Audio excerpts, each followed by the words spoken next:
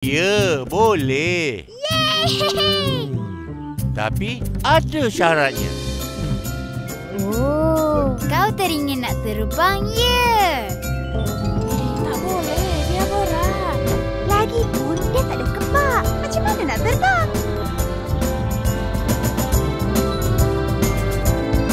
Ha!